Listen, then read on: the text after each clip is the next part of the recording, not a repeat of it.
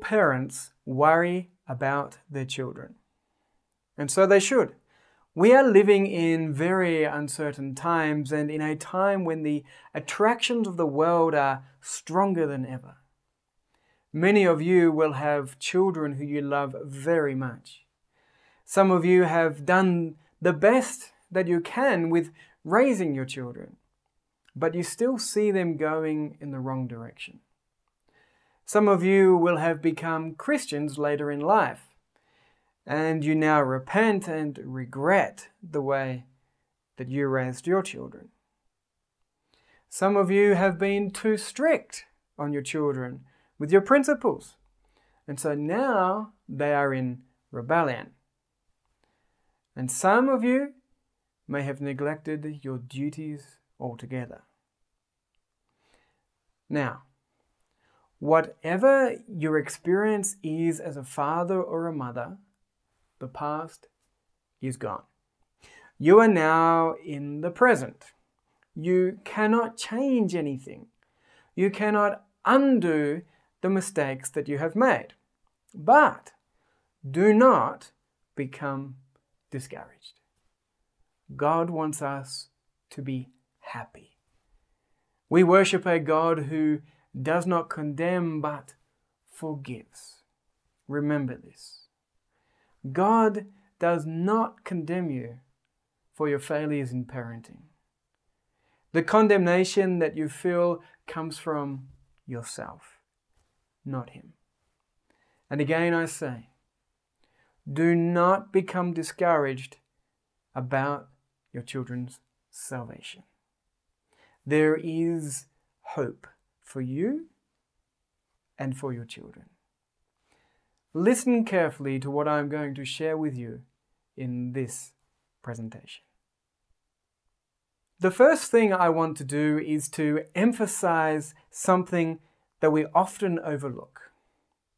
We worship a God who is a specialist in doing something in particular. And his specialty is described here in Genesis chapter 1, verses 2 and 3. And the earth was without form and void, and darkness was upon the face of the deep, and the Spirit of God moved upon the face of the waters. And God said, Let there be light, and there was light. There was darkness, and then there was light. Come to the first part of 2 Corinthians chapter 4, verse 6. It says, God commanded the light to shine out of darkness. God's specialty is bringing light out of darkness. When you look at your failures as a parent and you watch your children walking away from God's ways. Sometimes all that you can see is darkness. But God can bring light out of that darkness. In Psalm 127, verse 3, it says, Lo, children are an heritage of the Lord and the fruit of the womb is his reward. Now, generally, a parent will read this verse and feel condemned. It says that your children belong to God. They were given to you to take care of, to raise them up and train them to love God and to worship Him, but you have failed. However, this verse is full of encouragement. Will not the Lord take care of his own if you will give them to him? Perhaps you are coming to realize through our studies so far that it is because you were trying to save them and yourself by your own efforts that they are now wandering in the wilderness of this world. Many of you were so strict because you thought that's what you had to do. You thought that God was strict with you and that you had to meet all of His requirements yourself. And so you expected the same from your children. Or perhaps you were just living your own life without thinking of God, just happily doing your own thing, and you raised them up in the same manner. Either way, one thing is clear. Even if you did the right thing, it was wrong. Because you were the one doing the works. Now is the time for you to let God do the works. Give your children to Him. Yes, they may be wandering far away from Him. They may seem to be in the deepest darkness of sin, and they may even be estranged, not just from God, but from you as well. Now, give them to God and see how He manages the situation. Remember, his specialty is to bring light out of darkness. You will be amazed at what he does. But you must understand what it is that he will do. Let's return again to Isaiah chapter 55, verses 10 and 11. As the rain cometh down and the snow from heaven, and returneth not thither, but watereth the earth and maketh it bring forth and bud, that it may give seed to the sower and bread to the eater, so shall my word be that goeth forth out of my mouth. It shall not return unto me void, but it shall accomplish that which I please, and it shall prosper in the thing whereto I sent it. God cannot lie, because whatever comes out of his mouth, that word itself will do what it says. Anything that God says must happen. His word has to do what it says. And so, bearing that right in the front of your mind, come to Isaiah chapter 49, verse 25. Thus saith the Lord Even the captives of the mighty shall be taken away, and the prey of the terrible shall be delivered. For I will contend with him that contendeth with thee, and I will save thy children. The word of God that came out of his mouth, the word that must do what it says, says, I will save thy children. Parents, nothing can prevent this word from its fulfillment except your unbelief.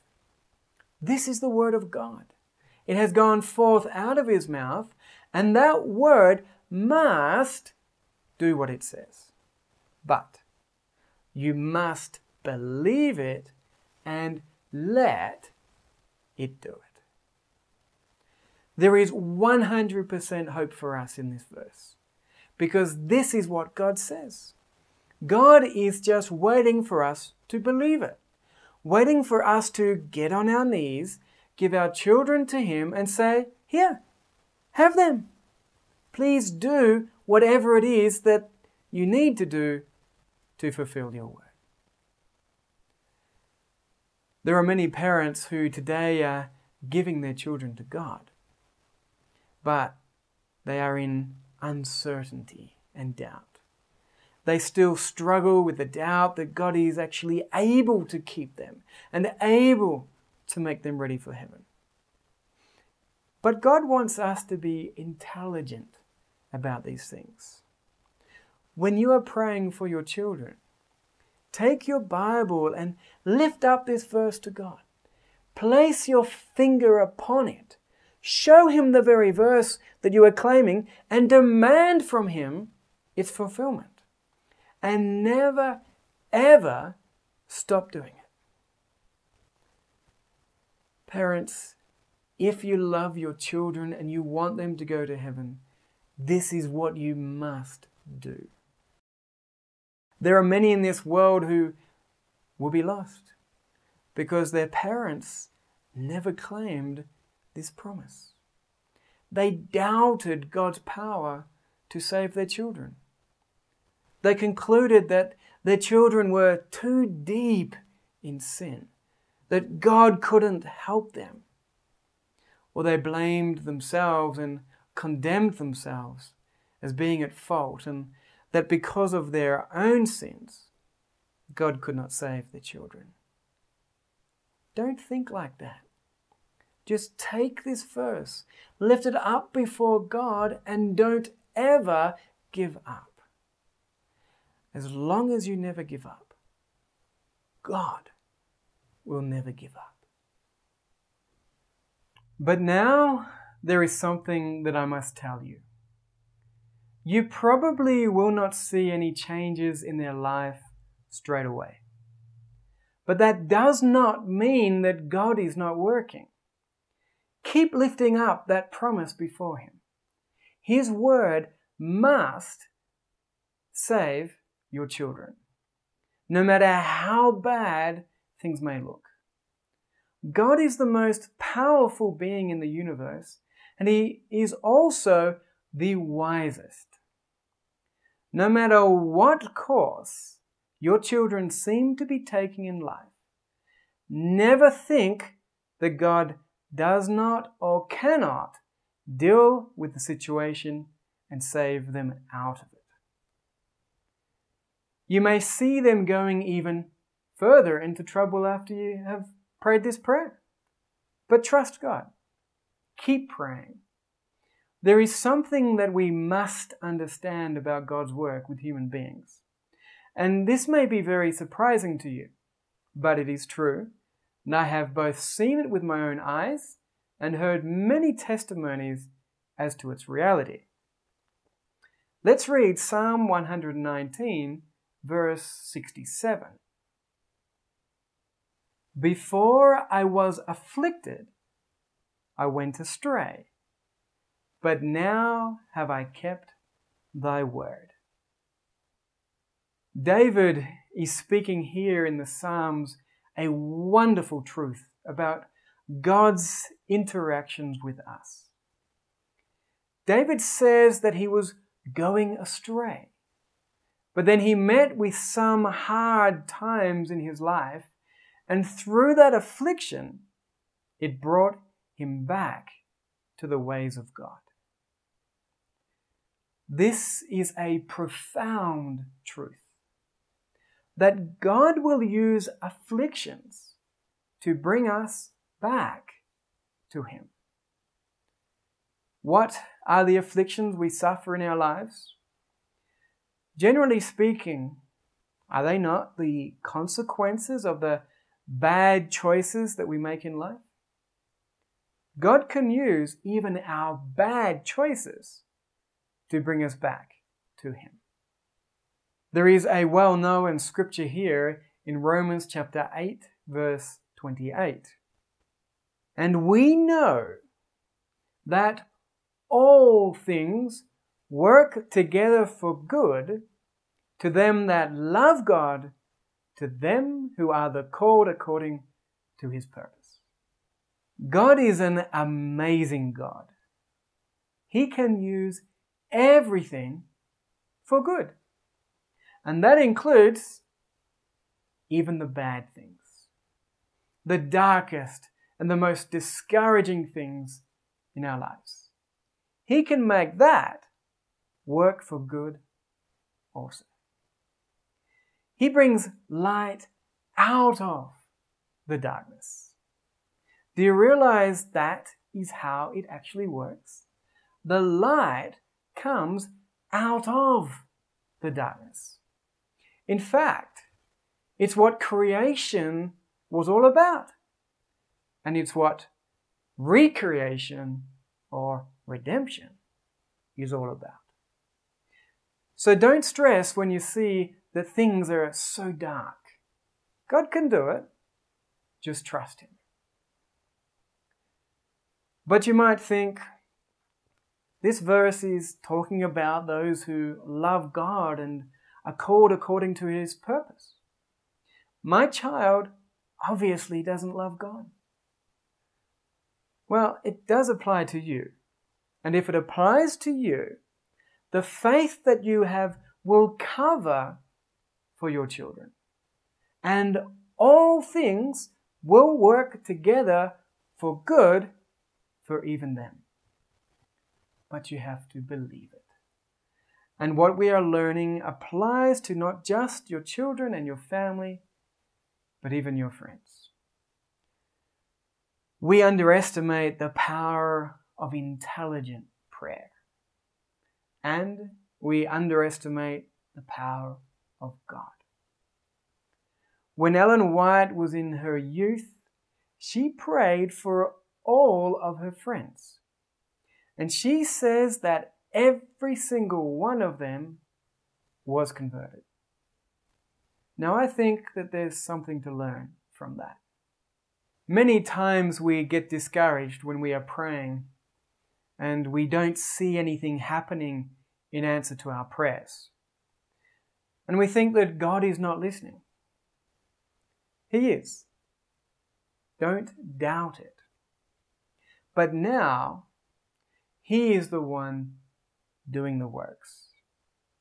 And His works are very different to ours.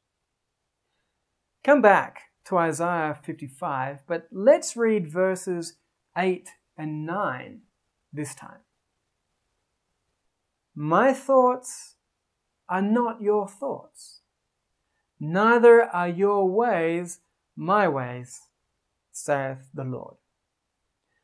For as the heavens are higher than the earth, so are my ways higher than your ways, and my thoughts than your thoughts. And so, if God's ways are not our ways, we should not be surprised when we see Him working in a way different to us. In fact, many times we don't think God is working because we are expecting Him to do things in a particular way and we can't see it happening. And the great danger is that we get discouraged and we give up praying.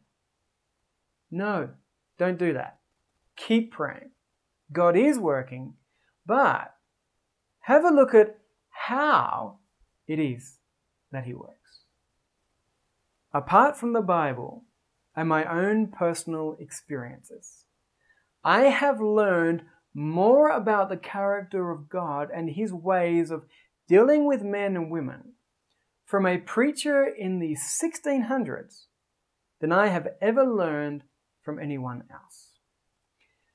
His name was John Bunyan, and he was one of those preachers who was not afraid to speak of his own personal, deep heart experiences with God. When he was younger, he spent many years believing that he had grieved the Spirit of God and committed the unpardonable sin. And he would search the scriptures looking for hope. But all he seemed to be able to do was find promises for everyone else, except for himself. One day, it finally hit him that he actually was a converted man and that God was simply waiting for him to believe that those promises were for him as well, no matter how it was that he felt. He writes about his experience in a book called Grace Abounding to the Chief of Sinners. And what he discovered about the character of God is very profound.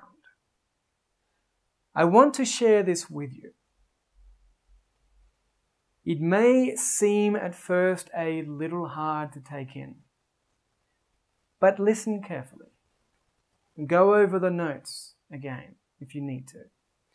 And remember that God's ways are not our ways.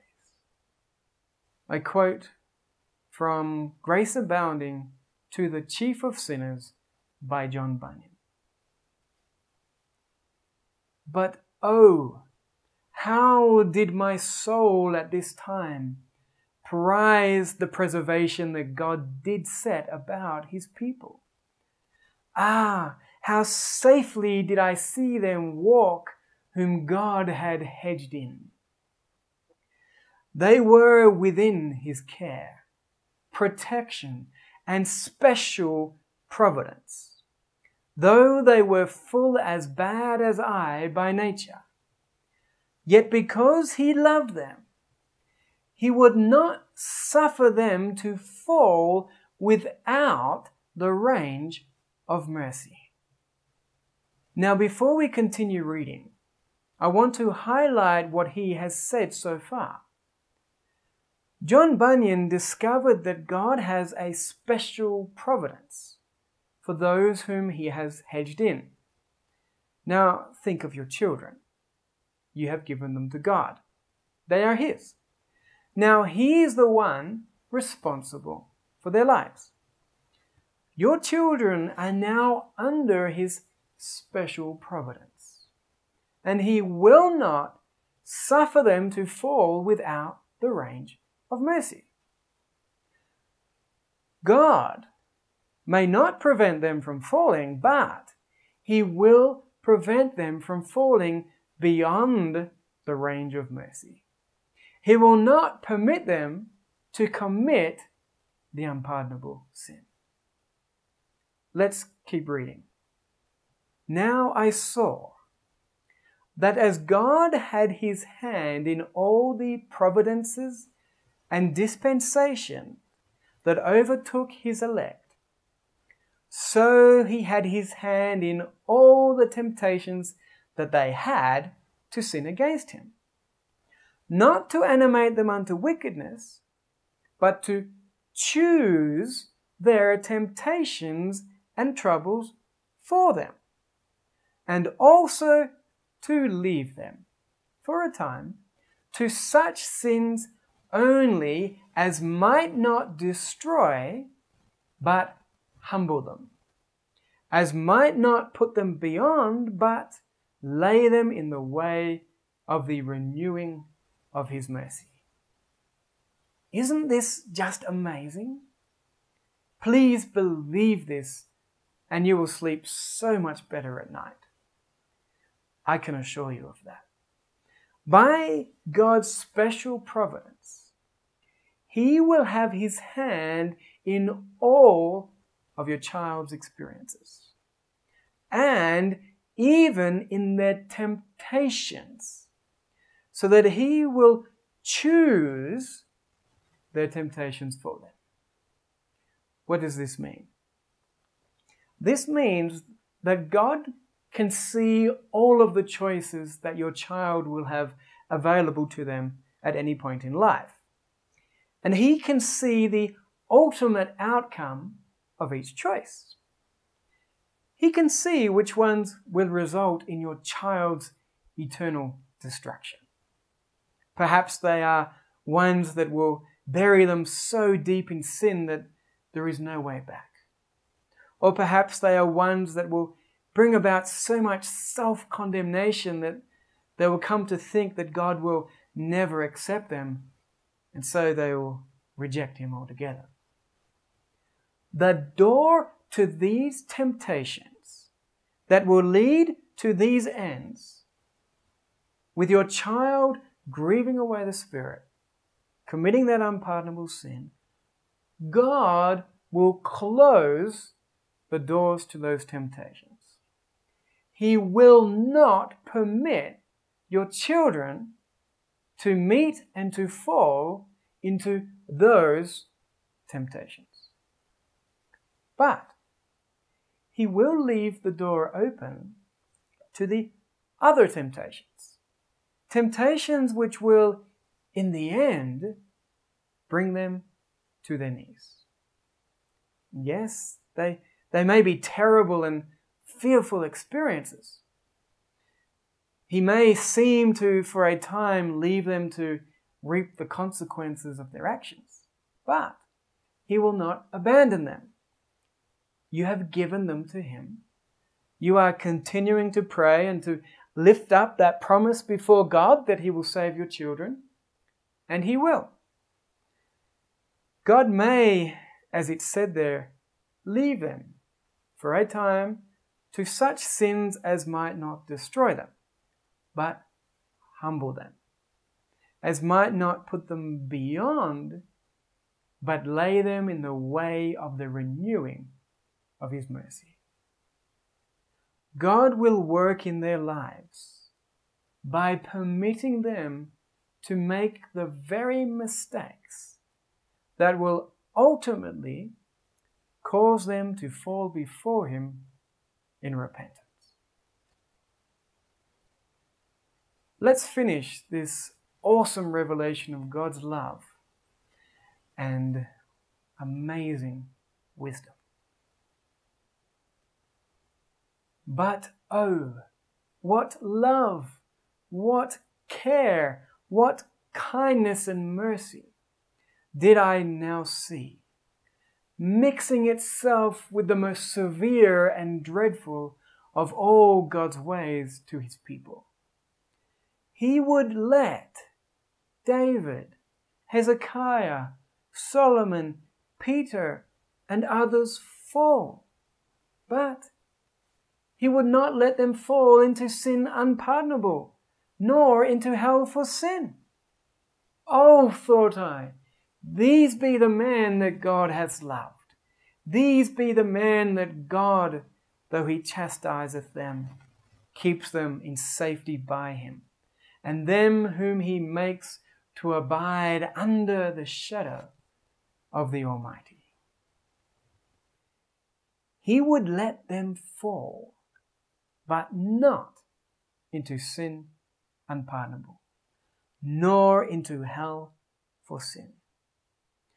Parents, if you have given your child to God, never become discouraged, no matter what you see taking place in their lives.